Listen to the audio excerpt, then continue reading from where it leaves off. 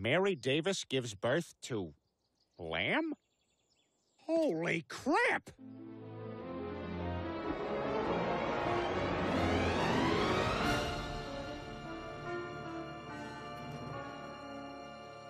Oh my god! What, what is that?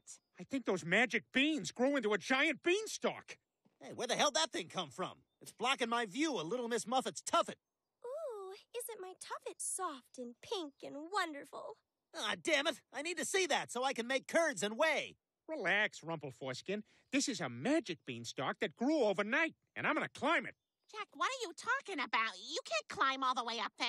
I have to. My old gym coach is over there with a whistle. Come on, Jack. Your brother was varsity beanstalk climbing. He's dead!